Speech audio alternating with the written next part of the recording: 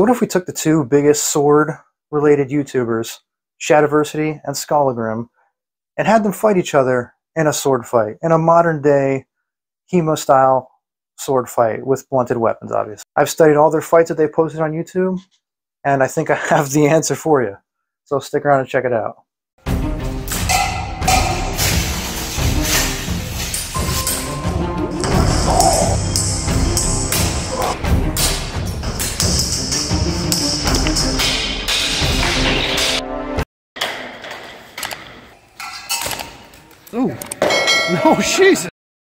Alright, so let's take a look at our fighters in this hypothetical duel. Skallagrim, who's been making videos since 2009, and Shadiversity, who's been making videos since 2015. So if you're not totally aware of these guys, both of them cover subjects based around the wide spectrum of historical European martial arts, focusing on weapons, armor, techniques, and various tropes that show up in pop culture, such as fantasy, video games, board games, animes, cartoons, movies, you name it. So both of these guys have been in sword fights before. And we're going to base this hypothetical fight when they were both at their most active, around 2016 to 2018. Alright, so let's take a look at their experience. Around 2011, Skallagrim starts messing around with swords with his friends. Just experimenting, but he admits that he doesn't know what he's doing. Basically just trying to figure things out. A couple years later, around 2013, 2015, Skallagrim starts looking at manuals, he starts looking at the original sources, he starts fully gearing up with protective equipment and fighting with steel weapons, but still trying to figure things out on his own. By 2016, Skallagrim has joined Blood and Iron Martial Arts, or Blood and Iron HEMA on YouTube. Here he receives training in German-style swordsmanship from experienced instructors, and he gets a lot of experience sparring with higher-level opponents. So Shadiversity is a bit more of a mystery. He doesn't go into his experience very much. According to him, he's been playing with swords his entire life. He mentions that he studied kendo while in Japan, though he doesn't give us any level of experience or achievement. And he also says that he has experience in HEMA and swordplay. Now, as far as that goes, he has posted several videos of himself fencing primarily with foam swords. But he's only ever uploaded one video where he's fencing with steel swords. And in that video, he also says it's his first time wearing a fencing mask. So this is Shad's first and only time fighting with steel longswords in full kit. Alright, so let's take a closer look at their actual fencing styles.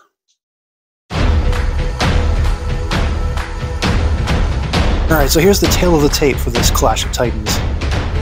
Skallagrim is three years the elder of Shadiversity. There's no reliable information out there on the height of these two guys, but uh, they're both relatively the same size, under six feet tall, I believe. So I'm going to try to give you guys a good idea of how these two fight.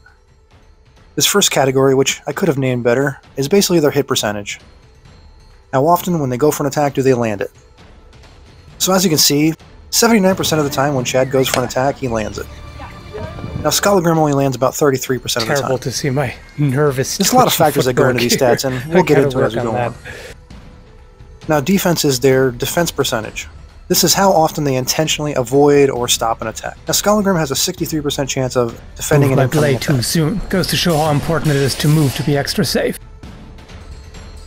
Alright, so Shads. Um, what can I say? Shad does not really defend himself very often.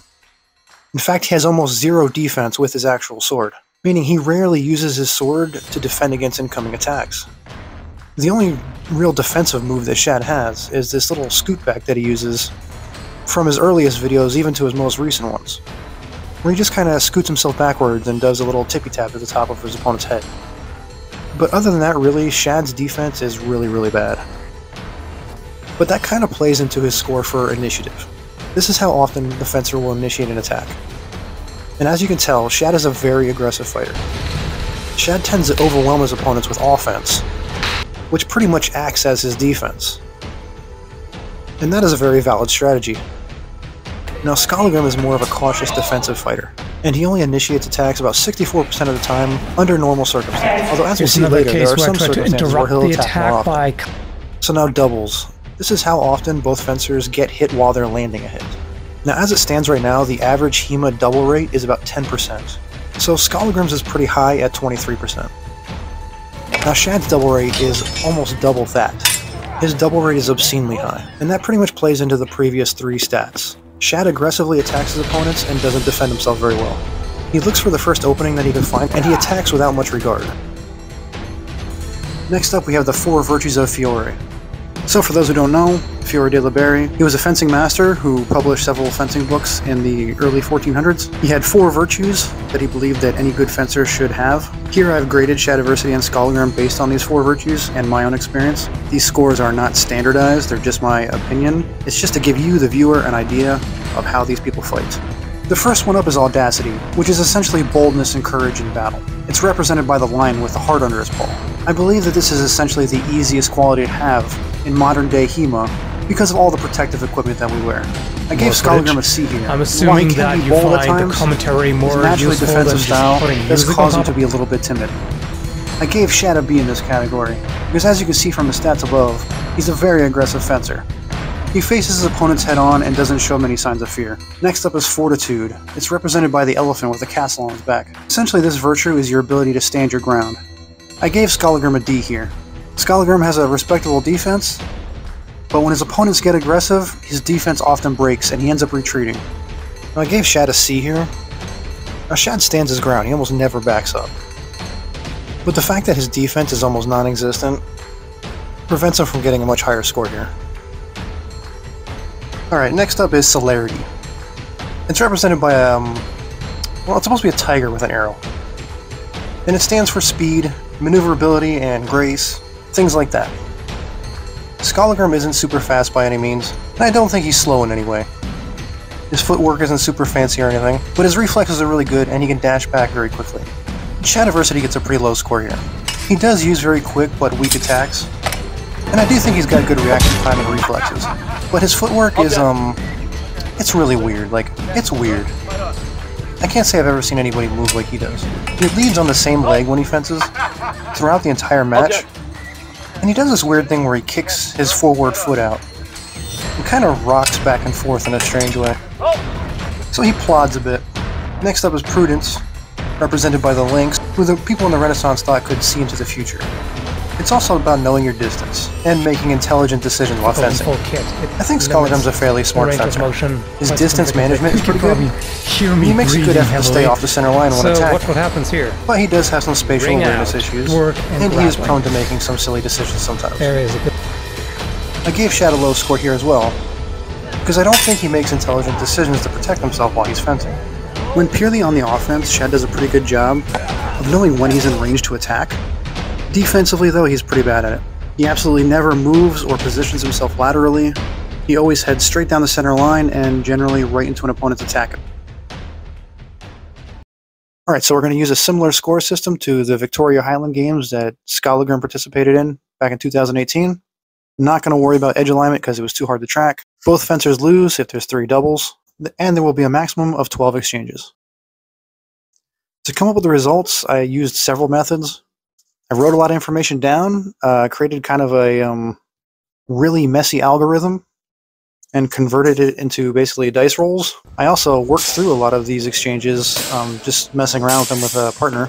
And I also had two fencers study both of these guys and then try to imitate them and try to recreate the fight without each other knowing what was going to happen. And then after that, it was my own experience. So I took all that, combined it all together, and I think I have the absolute best idea of how this fight would go. So the first part we're going to look at is the pre-fencing. This is the positions or stances or guards that defenses will choose when they're approaching each other, whether it's for a biomechanical advantage or a psychological advantage. You want to oppose the other person in a way where you can strike or defend yourself with an advantage. Um, some guards match each other very well, some do not. Skallagrim switches his guards frequently depending on what his opponents are doing. He has a very specific plan that he likes to use depending on what his opponents are doing. His most favorite guards are what his school calls the Wrath guards, the one on the right, the one on the left. The one on the left he prefers to use a little more often, I think. Shad, on the other hand, only uses one guard, or a variation of that same guard. And that is long point, or longa, or langort, or whatever you want to call it. And there's nothing wrong with that. Long guard is a very true neutral guard. Um, it can pretty much handle anything. It's a very balanced and natural and easy to use guard that most people stick to. But there's an interesting factor in this. See, Shadiversity is more aggressive overall, but when Skallagrim sees an opponent in long guard, he actually becomes more aggressive because he has a game plan when dealing with it. Now, Skallagrim does circle his opponents. He does move quite a bit, but when his opponents are standing still, he also just kind of goes straight down the center. So the way I envision it is that Shad goes straight down the middle, and Skallagrim meets him. Shad begins in his long guard, and Skallagrim starts off in either his right Wrath Guard or his left Wrath Guard.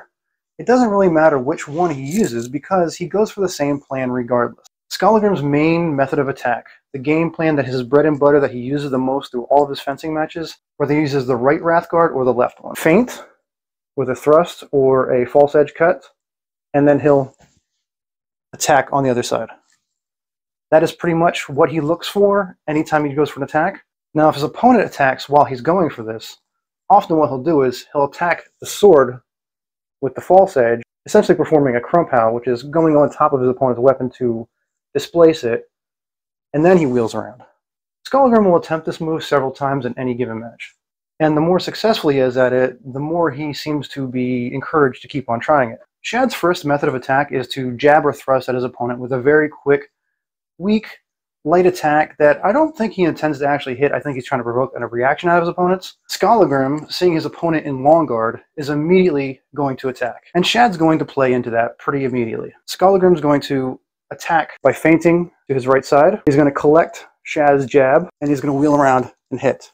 Now when Skallagrim goes for this attack, he actually leans his whole body this way. And that's kind of an important factor for this exchange. So Shad actually encounters this move during his first exchange in his first match with the HEMA practitioner. And he doesn't take it very well. Now, one thing to note is that Shad doesn't have very many defenses or counters. Um, he essentially says in that same video that uh, if he can't figure out a way to defend himself, he'll just try to hit his opponent back. And that's what he does when he comes up against this move. As his opponent hits him, Shad comes up to the side and tries to hit his opponent with the false edge. But with Skallagrim leaning to the side as he goes for this attack, I don't think he gets anything. So the way I imagine this is that Skallagrim lands a clean, and I don't think that Shad comes up with a quality return. So the first exchange, I'm giving the Skallagrim. Lost some of that footage there, but essentially Skallagrim hits him in the head, which is where he mostly lands that blow. For the second exchange, same strategy. Shad is going to attack from his long guard, and Skallagrim is going to attempt the same move again. But Shad's not about to let him get away with it this time.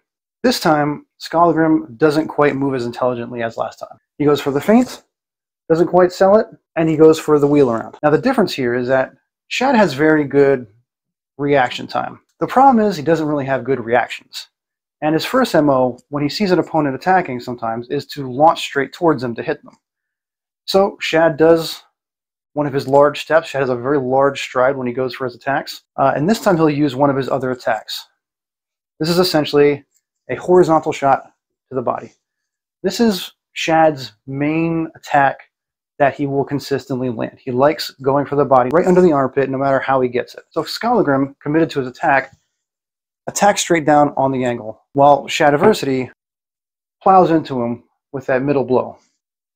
This shot here that Shadiversity lands is Shad's main target in pretty much all his fencing matches. He will try to hit right here as often as he can. Interesting thing is, this is Skallagrim's main weak point. He's very bad at defending right here. If you attack him on this side, Skallagrim will usually use a hanging parry and catch it pretty quickly. But on this side, he gets hit quite a bit. So for that exchange, I'm going to give that a double. Um, Shad lands one to the body. Skallagrim lands one again to the head. And with that, we already have our first double. All right, for the next exchange, uh, this is an interesting one. I would say by this point, Skallagrim's still feeling pretty good. Usually his first couple of rounds are his most aggressive. Shadiversity, once again, in his long guard as usual, and Skallagrim goes and rushes in for an attack. This time perhaps he's looking to mix it up, but he doesn't quite calculate. Skallagrim does have a bad habit of sometimes walking straight into an opponent. There's not a huge sample size of Shadiversity going up against traditional European guards. Um, but in the very few instances where he faces off against a Wrathguard or a Posta di Donna or whatever you want to call it, um, he aims for the exposed shoulder. So if I was in this Wrathguard, Shadiversity would probably try to stab me here. Shad does a very quick cut and thrust. If he can land a quick cut, he'll tap it and withdraw. But if his opponent commits, he will land the thrust. That's the way I see at least one of these exchanges in this match playing out. Skallagrim walks straight into his opponent, doesn't quite measure himself right, so Shad places one right in Skallagrim's midsection, essentially giving Shadiversity a, a clean hit because Skallagrim walks straight onto it. Shad also does a very good job when he does this move and puts his hand straight up high, protecting himself from any kind of downward blow that Skallagrim would have been going for. So I counted this as a covered thrust because of the way Shad puts his arms up very intelligently, and because Skallagrim likely would have had his hands up high. So this is where Skallagrim changes things up a bit. Usually after he learns a little bit of a lesson from his mistakes, he starts his counter-fencing and becoming a little bit more defensive. So as Shadiversity aggresses, Skallagrim is going to start backing up. And what he's looking for is for Shad to commit to something. Now as Shad loses distance, he makes up that ground with this lunging attack that he likes to use, where he essentially kicks one of his feet back and lunges very far in order to make up the distance and attack his opponent. Now his main attack here is either going to be a long thrust or he's going to go for a middle attack. Now when Shad goes for this move, he says in one of his videos that telegraphing of his feet are there to distract his opponents or something like that. Um, and that could potentially work. But Skallagrim has actually faced a defensor who has used almost an identical technique to this, although not exactly the same. And what Skallagrim did in that situation was something he's very good at. He shoots backwards and he attacks the arms. Now Shad kind of sets himself up to be hit by this because when he does, when he goes for his big lunging attack, is that he puts his arms out far and then turns as he goes for the attack, essentially putting him in the perfect position to hit Shadiversity in the arms, which he has presented to Skallagrim very nicely. So not a big scoring hit, but I think Skallagrim gets at least one of those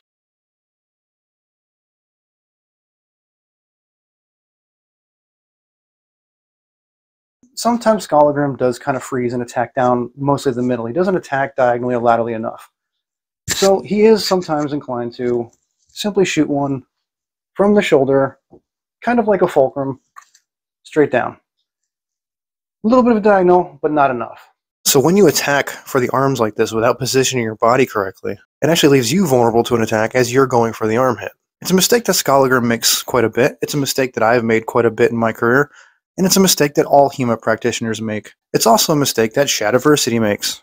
Because the way Shad holds his sword is like this. Whatever my sword is, my sword is blocking my front. But then if you are able to move to an angle, well now you've got a direct line. Now, this is good for kendo, but for the European crucifix form sword, this is actually very bad. If you hold the sword like this, as you can see, you're not really protecting anything you're not engaging the crossguard at all. It's not protecting anything. If you want to hold your sword forward like this, you should angle it, or as my teacher calls it, putting the pommel in your pocket. This protects more of your body, and you're engaging the cross guard more. You're letting it peek out to protect you. Now it can actually catch something. Another sword comes down, it can catch something. Like this, no sword is going to go over top the sword like this. They're all going to come from these angles. So you want to keep it on a diagonal. Or alternatively, you can just hold it like this. There's several positions that hold it with the horns of the cross guard facing outwards. So I think this double to the arms would happen at least once during this match. So five exchanges in and we already have our second double. So another technique that Skallagrim likes to use sometimes is a low guard. In Italian fencing, we typically call it the boar's tooth. I don't know what it's supposed to be in German fencing, other than possibly the changer, um, but they use one that looks exactly like the boar's tooth. Shad has actually encountered this guard. Now, Shad doesn't encounter low guards very often, and when he does, he's very aggressive towards them. And every single time he goes for his attack, he always fails because low guards are there as a trap. They're essentially an invitation for you to attack. Shad doesn't quite seem to understand during this time period what a low guard is used for. Uh, in one of his videos, he mentions that low guards are used for protecting your legs. For instance, uh, low stances, stances where you hold the sword low, all right? I have found I have a very natural instinct to protect my legs whenever I see move, an attack or anything that's even coming close towards it, and I naturally am able to move my legs and dodge the attack than needing to block it with my sword. I don't think any source that is used in HEMA mentions using a low guard to protect your legs for any reason. Low guards are there as an invitation. That is what the Fool Guard is for. You essentially put your sword out, uh, you expect your opponent to attack, and then you counter. Low guards are also positions to rest in after you've thrown an attack. When you perform a strong attack, you settle down low. You might not want to stay there long, but it's always good to know how to fight in a low guard just in case you find yourself ending up there. Sometimes you don't always have time to reset into another guard or a position that you find more favorable. Sometimes you have to learn how to fight from low. And sometimes you do need to use an attack that is strong enough to clear that space to get down low. So even if you don't like low guards, it's definitely important for you to learn them because you never know when you might find yourself in one. In Shad's second exchange, in his first ever bout with a HEMA practitioner, um, that fencer actually does use Italian fencing and sets up a very basic counter with the Boar's Tooth Guard, which is to parry the attack incoming straight up with the false edge, which is the edge of the blade that is not in line with the knuckles. So you, you attack, displays, and then you just come crashing down without stepping. That's Fiore's advice. Shad had absolutely no answer for that move when he encountered it. Skallagrim's choice of attack here is not one that I would use, and it's a little bit slower. Uh, essentially, instead of attacking with the false edge, turns it and attacks with the true edge. Then, after displacing his opponent's attack, he turns the blade and comes straight down. Now, even though I believe this attack is a bit slower than the Boar's Tooth counter that Shadiversity fell for in his second exchange, um, I still do think that this move would land, and it would land high, because Shad doesn't know anything about low guards or some of these HEMA techniques that he ran into. I think that Skallagrim would land somewhere on the shoulders, clavicle, or head with this attack. Because I don't believe that Shad would try to raise his arms to defend himself. So I count this as a headshot. It could have landed anywhere, but because of the way Shad fences, Skallagrim was able to pick his target, basically. Now, like I said, Wrathguard is pretty much Skallagrim's favorite guard. And there's one problem I have with it, which shows up in some of his videos, is that he kind of squares his shoulders like this a little bit. And he puts his elbow out. So typically the advice for this move in the Italian version, which is called the Posta di Donna or the Guardia di Spalla, is you want to keep your arms back a little bit. You don't want to square your shoulders. I'm a big guy. Uh, I want to give people less of a target to hit. Now, even though my target doesn't diminish that much when I turn, it's still better than squaring my shoulders like this. I want to turn my arm and my body away when I go for the attack. So when Skallagrim leaves himself out here like this, and Shad is going for his jabs, there's a very good chance that he's going to hit Skallagrim in the arm, at least in one of these exchanges.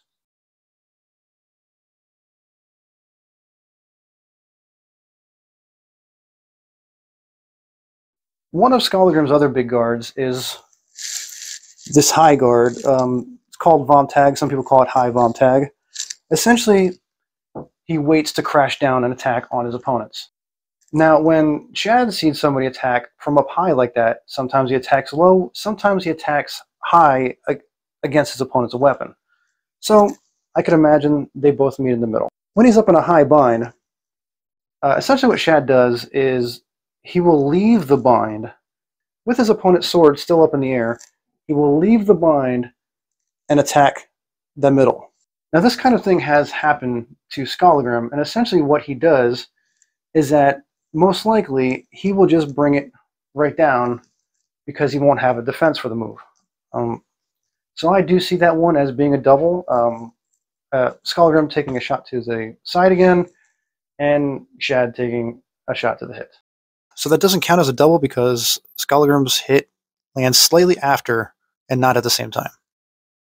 Okay, at a certain point in the match, Skallagrim's going to notice that Shad always leads with the same foot forward. Shad always keeps his right foot forward. Um, he only switches occasionally when he wants to step forward for an attack. And Skallagrim will go for one of his leg attacks. Uh, he usually goes for at least one of these per match. Shad's answer to the leg attack is very similar to what's suggested in Fiore and other fencing manuals, that is basically to get your legs out of the way and counter up high. In Shad's steel longsword match, um, his opponent never throws an attack at his legs. In his foam matches, Shad comes up against leg attacks quite often. Um, and he's actually very good at dodging them. I probably didn't give enough credit for his speed when I assessed him earlier. And they're much faster than steel longswords, and he has to do it at a closer range because foam swords are generally shorter than the steel feder that Skallagrim is. And that's where I'm coming up with a problem here. Shad is very good at dodging these very fast foam simulators, but they are generally about 6 to 10 inches shorter than the steel feder that Skallagrim is using. So the question is, would Shad be able to hit Skallagrim and evade this much longer weapon, which does travel slower than the foam simulators? But the thing is, Shad's ability to dodge these foam swords might be due to the fact that he's so used to facing them. During his video titled uh, Let the Sword Fighting Begin, he ends up facing one of the more experienced LARPers uh, in the video, and they use some kind of polearm simulator made of foam. Uh, during that match, uh, Shad's opponent uses a leg attack, and it appears that Shad gets hit in the leg as he's performing the counter. So that leads me to believe that maybe Shad couldn't dodge the steel longsword because he's not quite used to that length.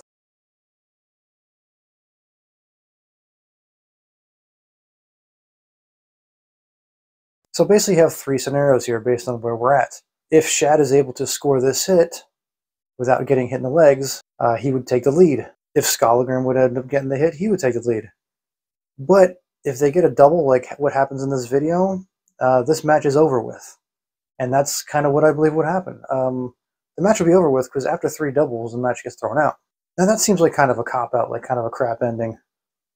Um, but fact of the matter is, uh, I planned on going 12 rounds with this, but every single time I've run through the scenarios of this, um, it never gets there because Shad's double rate, uh, accompanied with Skallagrim's double rate, is just too high. It will end up getting three doubles before you get to 12 exchanges. In all the ways that this fight played out, um, I think this ended up being the best version, or my favorite version. So, who do I think would win? Fact of the matter is, is that this is kind of a messy match.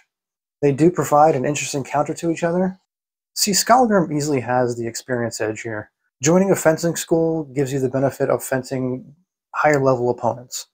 And what that does is it forces you to up your game. It pushes you to a higher level.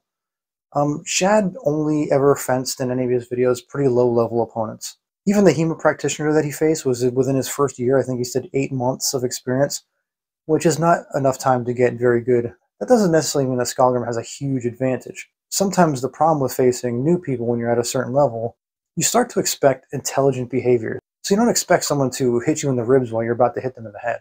You find yourself doubling and have a very sloppy match against somebody who doesn't quite know what they're doing because usually new people are just eager to get that first hit. And that's kind of where Shad is at in terms of experience. He's he fences like a new person. I think he fences like a very good new person. Um, and I'm not saying that necessarily as an insult. Shad says in several of his videos that he doesn't think he's the greatest fencer in the world. Um, nor does he think that he's very good at it. And yeah, I can confirm, uh, Shad's not a great fencer. He's very good for the tool set that he has, which is very limited. Um, if he took some time to train and, and fight against more skilled opponents, I think that he has potential to go much further than he is, easily.